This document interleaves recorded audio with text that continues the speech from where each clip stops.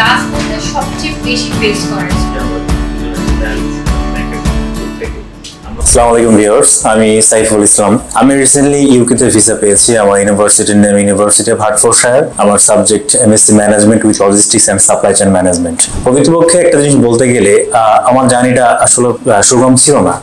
এবং জার্নিটা খুবই কঠিন ছিল, কিন্তু বলতে হবে এইমস এডুকেশন আমার এই জার্নিটাকে একেবারে স্মুথ করে দিয়েছে। সাবজেক্ট চয়েসের ক্ষেত্রে হোক ইউনিভার্সিটি চয়েসের ক্ষেত্রে হোক, আসলে ব্যাপারটা আমার কাছে একটু ক্রিটিক্যাল ছিল।